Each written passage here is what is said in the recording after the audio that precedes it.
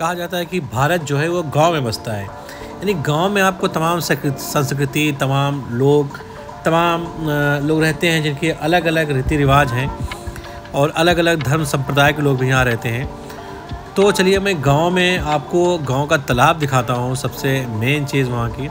क्योंकि पहले लोग जो है वो पानी के लिए तालाब और कुएँ पे निर्भर रहते थे। तो ये देखिए, ये गाँव का तालाब है और ये ग्राम सभा का तालाब है, चूँकि ग्राम सभा जो है वो सरकार होती है।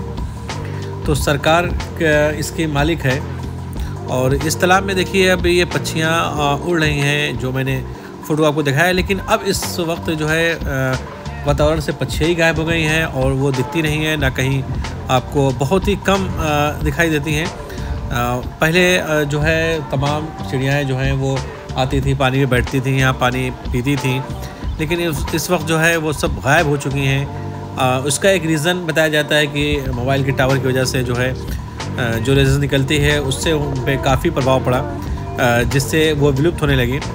तो ये देखिए, ये तालाब जो है अब इस वक्त जो है, ये बहुत ही प्रदूषित हो चुका है। अगर प्रदूषित नहीं रहता तो लोग इसमें आते हैं, अपने जानवर को लाते हैं। जानवर भी पहले इसमें पानी पीते थे। लेकिन अब ये तालाब, जो है, वो जानवर के पानी पीने लायक नहीं रह गया है।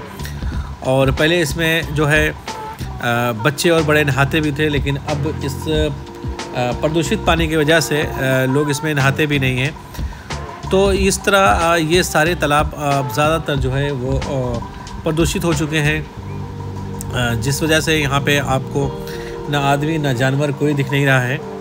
और ये तालाब काफ़ी बड़ा है और, लेकिन चूँकि ये तालाब कई तालाबों से जुड़ा हुआ है और यहाँ पे एक बड़ा तालाब दिख रहा है आपको। और इस तरह का है, इस गाँव में कई तालाब हैं लेकिन सबसे बड़ा तालाब यही है इस समय। ये देखिए, ये गाँव के साइड में ये तालाब है। और पहले तालाब हर गाँव ही में रहते थे, चूँकि लोगों की ज़रूरियात थी। लोगों को उसकी ज़रूरत थी पानी की तो तालाब से ही पानी लेते थे। लेकिन इस तरह से अब लोग तालाब का यूज़ होना ख़त्म हो चुका है। और ये देखिए, ये एक पर्सनल तालाब है, जिससे मछली पालने के लिए ये तालाब बना हुआ है। और इसका पानी काफ़ी शुद्ध है, सही है। लोग इसमें नहाते भी हैं, लेकिन इस वक्त थोड़ा ठंडी का मौसम आ चुका है। तो लोग इसमें नहा नहीं रहे हैं और इसमें मछली पली हुई है।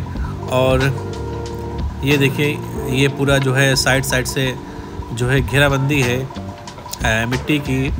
और बगल में भी एक छोटा तालाब इसी का बना हुआ है। चूँकि जब इसमें गंदा पानी हो जाता है तो उस तालाब में शिफ्ट कर दिया जाता है पानी को।